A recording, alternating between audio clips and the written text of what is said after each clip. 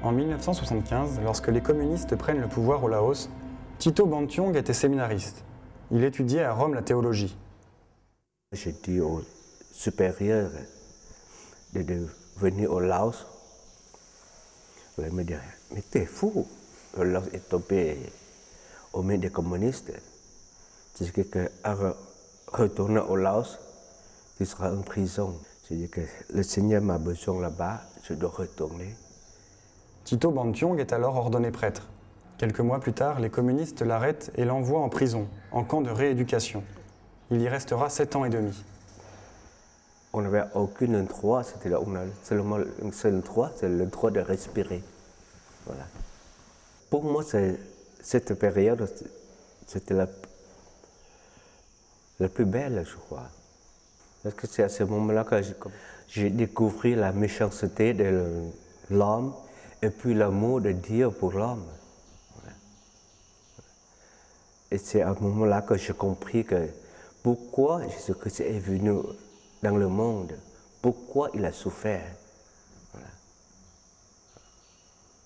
Je sentais l'amour de Dieu pour moi. Je sentais que Dieu était avec moi. Et avec moi, je crois. Je suis tous les jours. C'est là qui me donne la, me donne la consolation, l'espérance et aussi, on peut dire, la joie. Tito Bantiong a été nommé évêque en 1999. Il est heureux profondément. Pourtant, dans son diocèse, il n'y a pas d'autre prêtre. Dans la ville de Luang Prabang, l'église sert aujourd'hui de local à la police. Monseigneur Bantiong doit célébrer la messe chez lui. Officiellement, il ne peut séjourner à Luang Prabang. Il est surveillé. Bref, il aurait des raisons de se plaindre. On a l'idée humaine ça fait peur et on a... c'est difficile. Mais quand on dépasse tout ça, c'est facile. C'est-à-dire qu'on joue le jour au jour. Si Dieu le veut, il peut m'amener. S'il veut que je reste sur la terre, je peux continuer. Malgré les difficultés, Monseigneur Bantiong n'a jamais eu le désir de quitter son pays. Non, j'ai jamais eu cette idée-là. Jamais eu. Comme Saint Paul a dit, si Dieu le veut, je mourrai pour lui.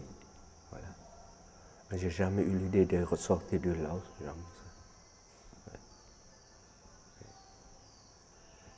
Et comme je savais que je devrais passer à travers tous ces stades de difficultés, chaque fois que je passais, je ah,